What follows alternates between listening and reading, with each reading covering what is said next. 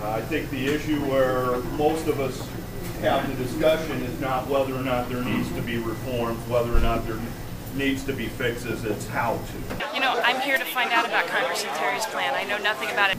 You'd have the same level of access to uh, health care. I have a friend who died of breast cancer because she had no health insurance. She wasn't going in for her checkups, and she died. I try to get help in the state of Nebraska. They say you don't. I have five brothers and sisters, two of whom don't have any insurance. I pray to God every day that nothing happens to them. Why not invite all uninsureds into the federal employees health benefit plan? And I'm not sure how your plan would lower costs for the low-income people to be able to get the insurance to cover these children. This healthcare issue's been such a problem, why did it have to wait until the Democrats came into power? You opposed the expansion of the S-chip program a year ago.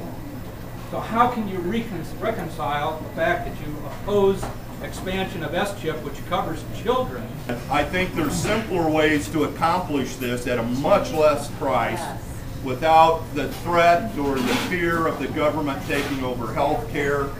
My sister is 61 years old. She's a widow. She can't work, and her health care insurance is a high deductible. It costs her $12,000 a year. I think my plan fits squarely with what you're talking about, because under that plan, there's a Which variety. Where is your plan? Is it on your website somewhere? 'Cause We haven't seen it yet. Yeah. From what I hear here, he's offering to extend the federal employee insurance, which sounds great. You keep on talking about this plan that you have, but we've yet to see it. They promised me that I'll have my draft back this next week now, since they've had time.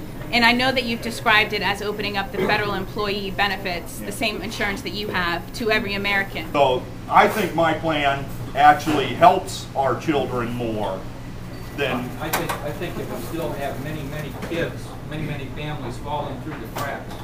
But the problem with that is that a, a, a hundred thousand federal employees right now under that insurance plan can't afford it because the premiums are too high.